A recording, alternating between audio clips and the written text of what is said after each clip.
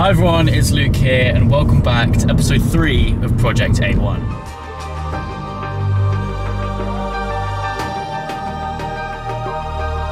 Now in today's episode what I'm planning to do is to finally fit my private plate on the car. Um, it's been a long time coming and uh, it's pretty exciting to finally have my own private number plate which I can keep essentially for life. Now as well as this I'm also going to be putting um, some different coloured badges on the car. Nothing too major, nothing too over the top. Um, but um, yeah, pretty much just experimentation. And uh, I'm also going to need your guys' help on uh, a decision which I'm still undecided on making.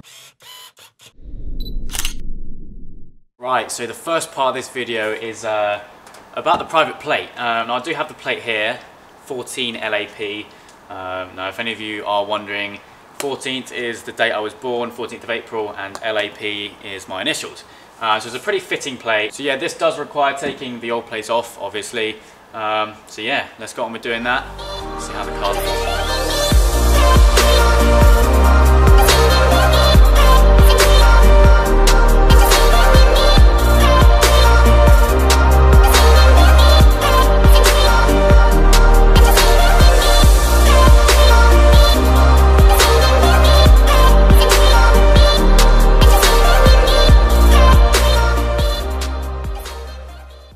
Right, so the next little mod for this video is uh, going to be about the Audi badge.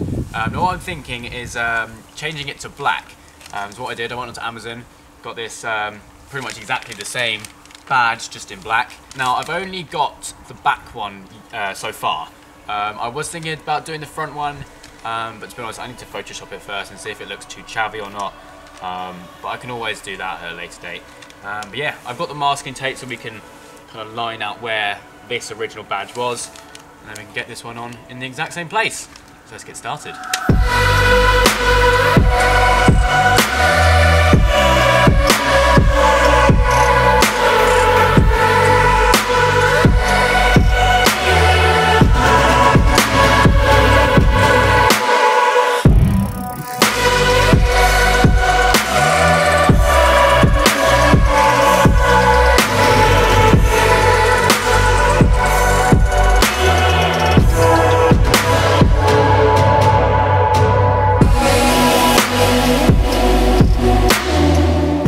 Yeah, that is it for this video. Um, I hope you guys did enjoy. Um, also, I do apologise for uh, the lack of uploads recently.